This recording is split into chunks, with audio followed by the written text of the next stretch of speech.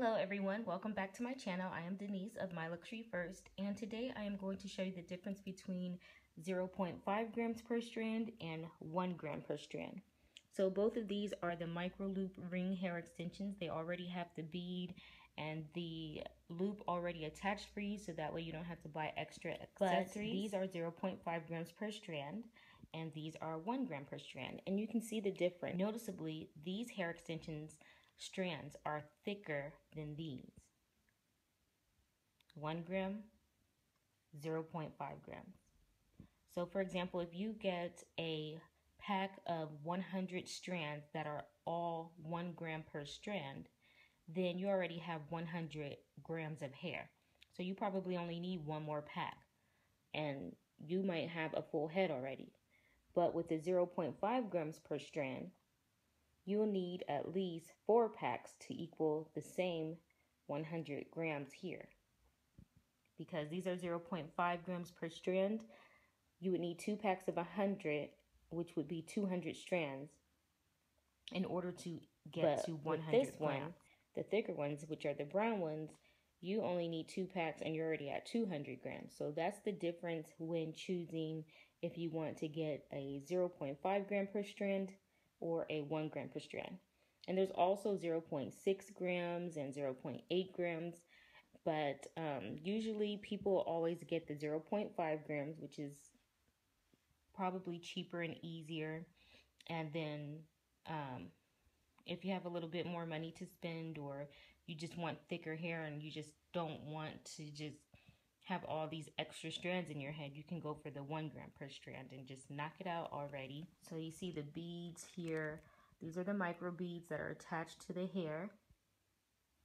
And these are the little ones with the screw line inside. So that way they when attach you slip hair, your hair through, you can just clamp it and it'll already be on there. And then these are the same thing, except as you can see, the beads are a little bit bigger and they're also um, like they have like a silicone or um, just some type of lining inside, lining. which actually is the silicone. So this is like a different protection. So for example, some people, their hair is more prone to breakage.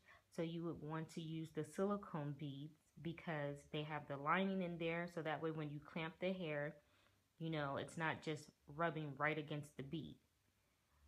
So depending on how your hair is, also if you have very oily hair, if it's not clamped tight enough, it, these can slip out.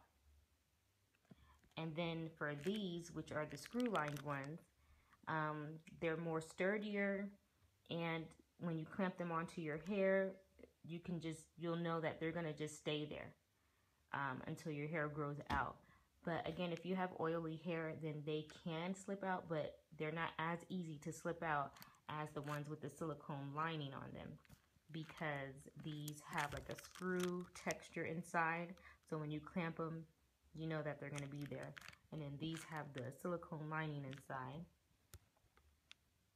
So when you clamp them, I mean, they're going to be there but they're just a little bit more easier on the hair. So you can expect a little bit of slippage if you're not careful and or if your hair is very oily. So um, also these are the brown or the dark chocolate brown hair extension strands and then these are like the burgundy red. So just giving you a little background and just a little knowledge or information.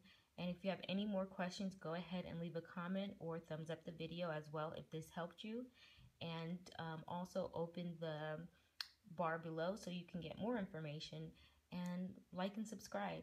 Thank you for watching and I will see you in the next video. Bye. And why luxury is known for hair, undoubtedly. We're talking yeah. about extensions running out Rapunzel's balcony, so check it out and clip it in.